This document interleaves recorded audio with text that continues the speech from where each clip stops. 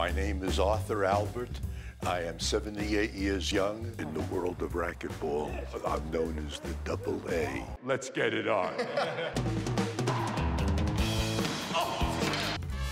I felt like I was Bob Cousy floating the ball into the cup. Yes, to all of us.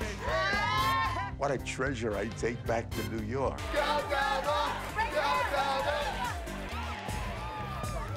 Can you teach an old dog new tricks? wow, wow, wow. Double A's uh, words of, of wisdom.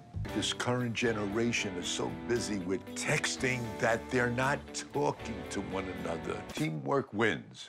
And take it from Double A, the truth will set you free. If you have that happy child inside of you, you're forever young.